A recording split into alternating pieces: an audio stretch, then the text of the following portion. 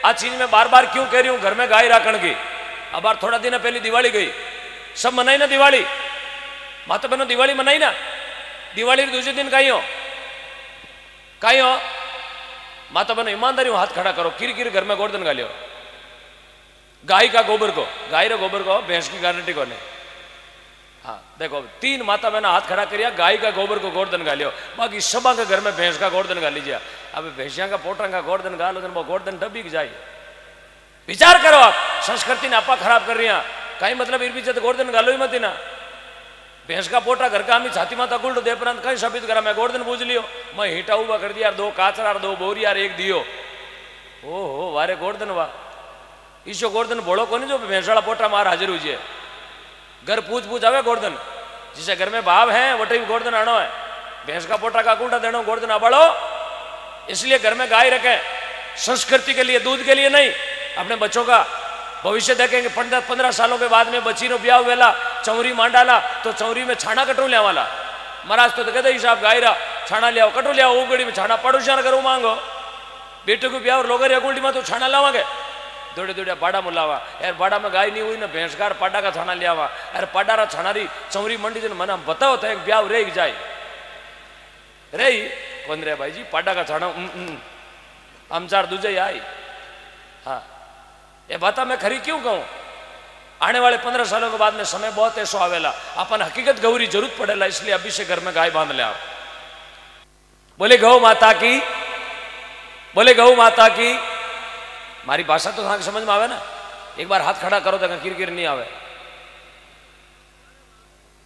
आ रही है कौन आई संस्कृत में बोलू तम सोमा ज्योतिर्गमय अस्तो माँ सदगमय। बोलो गौ माता की, हम तो यही चाहते हैं कि हमारे जैसे सब बने। कि मैं कताक दिन गावा मैं अकेला कताक दिन हाका कर कर गौशाला चलाया हूँ। मैं भी तो चाहवा एक गाँव में एक ओम प्रकाश तैयार हो जावे। क्योंकि माँ का तो कोई भरोसा कौन नहीं साहब। हाँ ज़िंदगी डिग्गी में लियोड़ा बैठा। गाड़ी की डिग्गी में ज़िंदगी है। हाँ इसलिए सब युवाओं से मेरा यही आग्रह है कि ज़्यादा से ज़्यादा गौ भक्ति से जुड़े। और सभी माताओं बहनों से मेरा यही आग्रह है। भाई माठ साहब जी ने बताया, घर में एक गाय रख लो आप। बारह महीने तक एक गाय रख लेना। यदि एक गाय रो खर्चो थानो नहीं पूर्व है तो बारह महीना गाय राखी, रो डिगना लो टाबर माने बंधवा दी। यार तो घर में घाटो दे दियो माने। वो घाटो मैं भरवाने तैयार हूँ। आप कभी भी मुझे बोल देना, जितना घाटा आएगा मैं भरूँगा आपको गरीब। जितना घाटा आएगा मैं भरने को तैयार हूँ। एक घर में एक गाय बाँध लेना। कल सुबह से बाँध लेना। कल शायद बीज है। हाँ बीज है ना? हाँ। बहुत बढ़िया है, कल बीज है, देसी गाय घर में ले आना। नागौर की वीर भूमि और माँ सरस्वती का ये पावन प्रांगण, कामधेनु विद्यालय के अंदर आज के विशिष्ट अतिथि पद्म श्री हिमताराम जी, नागौर नगर परिषद के चेयरमैन साहिबा संत सानिध्य गोपालानंद जी महाराज जानकीदास जी महाराज, और आसपास से पधारे हुए समस्त जनप्रतिनिधिगण, सामने विराजमान पिता तुल्य बुज़ुर्ग जन नौजवान साथियों, माताओं, बहनों और प्यारे बच्चों। सबसे पहले तो एक शाम गौ माता के नाम के इस बहुत भव्य और सुंदर कार्यक्रम के आयोजन के लिए कामधेनु शिक्षा परिवार और समस्त आयोजकों को दिल की गहराइयों से बहुत बहुत धन्यवाद, हार्दिक आभार कि इतने सुंदर कार्यक्रम का यहाँ नागौर की इस वीर भूमि पे इन्होंने आयोजन किया। ये बधाई के पात्र हैं। आज मैं आज शादियों का कार्यक्रम था, आने में थोड़ी देरी हुई। और ये मेरा परम सौभाग्य है कि इस गौ माता के कार्यक्रम में पहले मेरा कहीं बार का कार्यक्रम था और अभी आधे घंटे पहले ही माननीय सांसद महोदय का फ़ोन आया कि मैं अभी बाहर हूँ और थोड़ी तबीयत भी ठीक नहीं है। तो इस कार्यक्रम में आपकी उपस्थिति अपेक्षित है। मेरा परम सौभाग्य है कि इस पुनित कार्यक्रम में मुझे आने का अवसर मिला। इतना ही निवेदन मैं इस कार्यक्रम में करूँगा कि ओम जी मुंडेल और आज अपने मुखार बिंद से जो भी, जो भजन संध्या के कार्यक्रम में आप लोगों को जागृत करने का जो प्रयास ये लोग कर ये जागरण का कार्यक्रम है। जागरण का मतलब जागृति। जागृति शब्दों के माध्यम से जागृति चाहे धार्मिक हो, आर्थिक हो, सामाजिक हो, राजनीतिक हो, जहाँ भी जागृति का मौका मिले, आप लोगों को भरसक प्रयास करना चाहिए, क्योंकि पिचहत्तर साल देश को आज़ाद हुए हो गए, और जो एक बीड़ा ओम जी ने उठाया है, मैं अक्सर इनके कार्यक्रमों में मुझे जाने का मौका भी मिला है कई बार। ये जो गाय माता के लिए जो ये संघर्ष कर रहे हैं, वास्तव में ये साधुवाद के पात्र हैं और जितने भी संत महात्मा जो हमेशा गाय माता की चिंता जो करते हैं, और ये धर्मशास्त्र भी कहते हैं यदि गाय नहीं बची तो प्रकृति भी नहीं बचेगी। तो निश्चित रूप से आप सब जो लोग जिन्होंने ये बीड़ा उठाया गाय माता को बचाने का और राष्ट्र माता घोषित करने का जो बीड़ा उठाया है, इतना ही निवेदन मैं आप लोगों से करूँगा इस मंच के माध्यम से। गोपालानंद जी, मंच पे विराजमान है। आप लोगों की वाणी ज़रूर कहीं ना कहीं राजनीति के अंदर जो उच्च पदों पे लोग बैठे हैं, जिनको गाय को राष्ट्र माता घोषित करने में मेरे हिसाब से बिल्कुल ही ज़ोर नहीं आए एक कलम चलाने की बात है। लेकिन इस देश के अंदर सबसे बड़ी कमी जो मैं एक जनप्रतिनिधि होने के नाते हालाँकि मुझे बात नहीं कहनी चाहिए, लेकिन जिस दिन हम सच बोलना और सच सुनना यदि पसंद कर लेंगे, उस दिन निश्चित रूप से इस देश का उद्धार भी होगा। जिन लोगों ने गाय माता के नाम से इस देश में अलग जगाई, आज गाय माता के नाम से वो देश के सर्वोच्च पद के ऊपर विराजमान है। उन लोगों की ये नैतिक ज़िम्मेदारी है। हम तो पूरे किसान परिवार के लोग हैं, यहाँ जितनी भी माताएँ, बहनें मेरे बंधु, बुज़ुर्ग, जो पिता तो बुज़ुर्ग, आप सब लोग जो बैठे हैं, आप तो सब गाय माता के लिए सारा कुछ कर ही रहे हैं।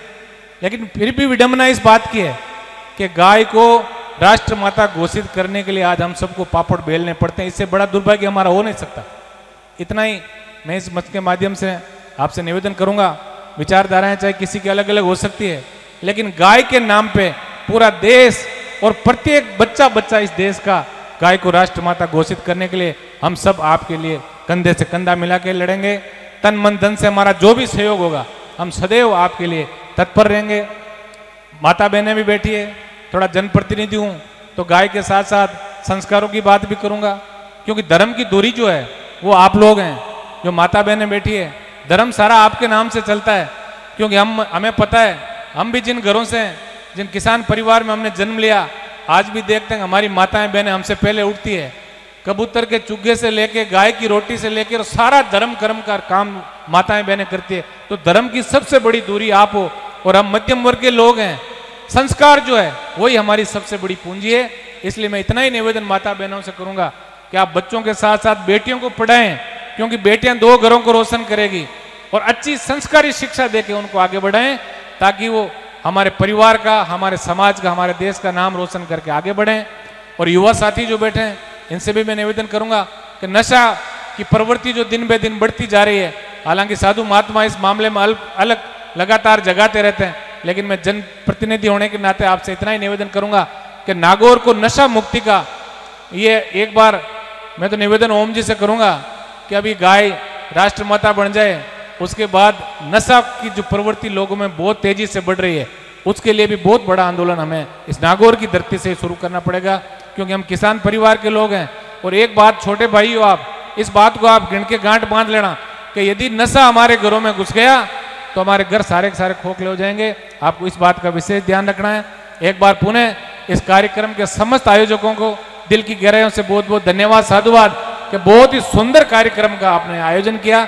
और एक निवेदन भी करूँगा कि धर्म कर्म का जहाँ भी काम हो और जहाँ भी आयोजन हो, आप लोग थोड़ा समय निकाल के, क्योंकि ये गौ माता के साथ साथ संत महात्मा जो विराज हैं, ये आत्मा और परमात्मा के मिलन की बहुत अच्छी बातें इस सांसारिक मोह माया से हम कैसे अलग चल के और हमें एक अच्छा समय बिता सकते हैं, इसके बारे में भी हमेशा आप लोगों को बताने का पूरा प्रयास करेंगे। एक बार पुनः परम पिता परमेश्वर से आप सब लोगों के उज्जवल भविष्य की शुभकामना प्रसिद्ध करते हुए इस कार्यक्रम के आयोजकों को दिल की गहराइयों से बहुत बहुत धन्यवाद देता हूँ। जय हिंद, राम राम सर। बहुत बहुत धन्यवाद। माननीय विधायक महोदय खेवसर नारायण जी बेनीवाल साहब। श्रीमान हनुमान जी, सत्यनारायण जी, सनोप श्रीमान चतुराराम जी, सारण, मांडली, जोधियासी आपकी ओर से इक्कीस हज़ार रुपये जोरदार तालु से अभिनंदन। मैं जिनके नाम की उद्घोषणा कर रहा हूँ, प्लीज़ आप मंच पर आए। ये जो मूवमेंट हो, आपने शिक्षा परिवार के सदस्यों ने जो बनाया हैं, ये किसको देंगे फिर? आपके लिए बनाया हैं।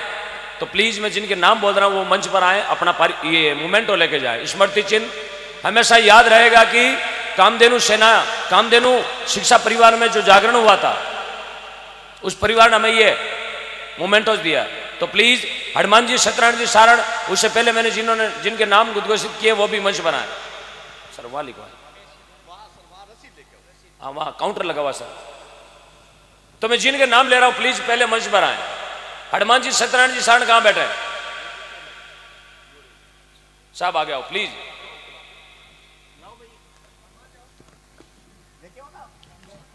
हनुमान जी।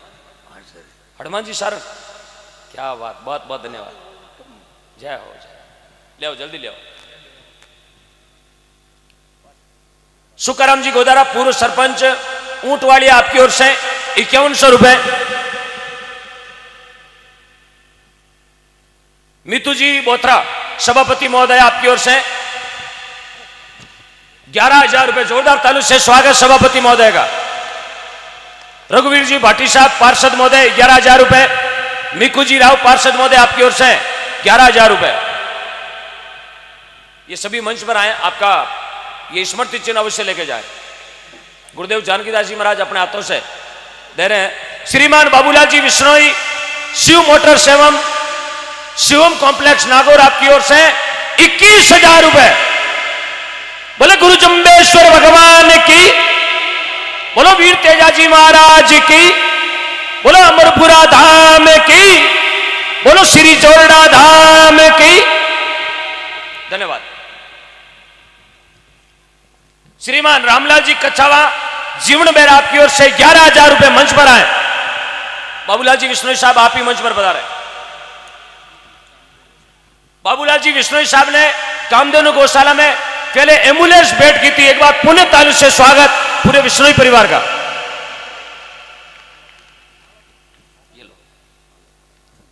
श्रीमान मोतीराम जी, जाड़ीवाल बरसिंह सर, जोरदार तालियाँ आपकी ओर से इकहत्तर सौ रुपए बरसिंह सर से बता रहे मोतीराम जी मंच पर आए।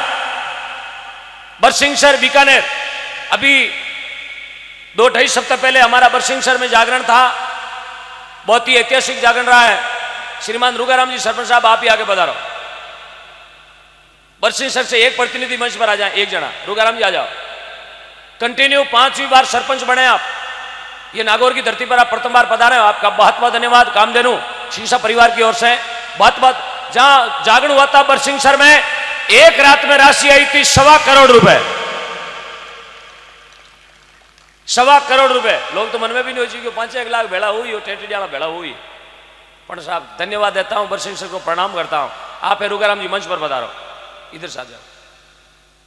लगातार पांचवी बार आप सरपंच हैं बरसिंह सर में, और बहुत ही हसमुख मिजाज के धनी सतीश कौम के सरदारों को आप साथ लेकर चलने वाले। सुकाराम जी गोदारा, पूर्व सरपंच ऊंटवाड़िया, इक्यावन सौ रुपए मंच पर बता रहे सरपंच साहब, रोहिणी सरपंच साहब भी मंच पर बता रहे जाकर जी। गौशाला अध्यक्ष चुनाराम जी, आप ही मंच पर बता रहे थोड़ा जल्दी आना मंच पर, है ना? कार्यक्रम बहुत लंबा है। भजन पूरी रात चले, आज भजन ही गाना पूरी रात।